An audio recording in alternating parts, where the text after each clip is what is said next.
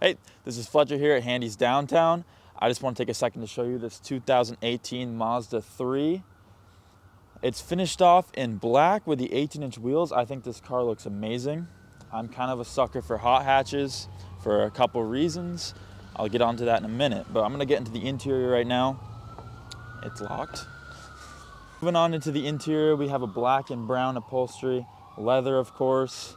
I think Mazda does a great job making it sporty yet luxurious.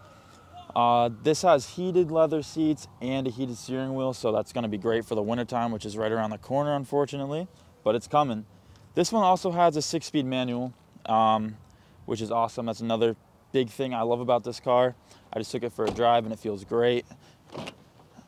In the back, we have the 60 40 split, and that's the other thing I love about the hatchbacks because you have so much room in the back for stuff. We have so much room for stuff in the back. That's my other favorite thing about hatchbacks because you can just throw the seats down and you can throw just about anything back there. And you also have a ton of space in the rear for passengers.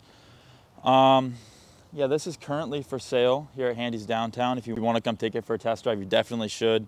Uh, it's a great car to drive. Uh, yeah, my information is going to be down at the bottom of the screen. Uh, let me know, give me a call.